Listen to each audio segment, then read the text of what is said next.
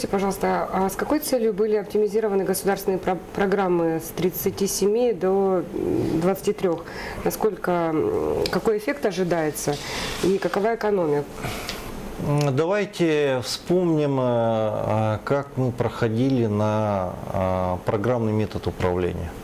Э, Это было пять лет назад. Э, В 2012 году были сформированы первые программы, 37 государственных программ. И в течение всех пяти лет они носили ведомственный характер. То есть одно ведомство, одна программа.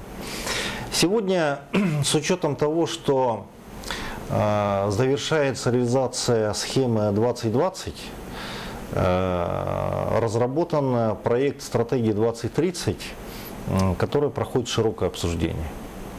Э, Причем обсуждение идет не только с депутатским корпусом, идет обсуждение общественности. Но я хотел бы сказать, что есть э, м, люди, которым очень не безразлично, как будет э, развиваться наша республика. И здесь важна, конечно, э, в- важны стратегические посылы, которые зафиксированы в этом документе. Мы определили э, семь приоритетных направлений в стратегии 2030. Э, Понятно, что это проект, что это обсуждаемо. И уже сегодня в рамках э, семи основных направлений мы переформатировали 37 государственных программ. То есть, ну вот, например, такая, такое направление очень важное, как развитие человеческого капитала. Абсолютно понятно сегодня, что это очень важный вопрос. Это главный вектор развития нашей респуб- республики, человеческий капитал. И в этом вопросе задействованы несколько министерств и ведомств. Соответственно, э, мы предложили э, те государственные программы, которые реализуются этими ведомствами, их объединить в одну. Э, Часть программ осталась за ведомствами. И, соответственно, сегодня мы имеем возможность в рамках того финансирования, которое сохраняется, э, нет никакого секвестра практически. Может быть, там отдельные направления будут э, финансироваться более приоритетно.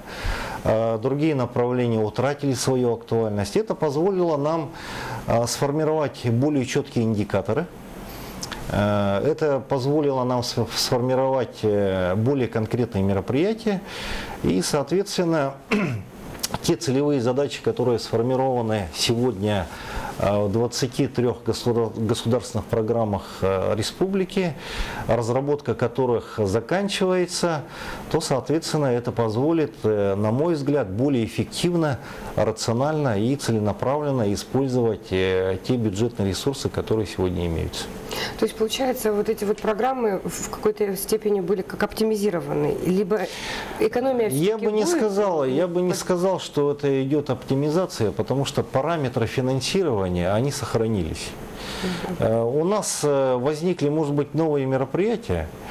Э, У нас структурно, может быть, эти программы поменялись, но я говорю, что какие-то мероприятия уже не надо финансировать, и поэтому прошло некое перераспределение внутри государственных программ. Мгм.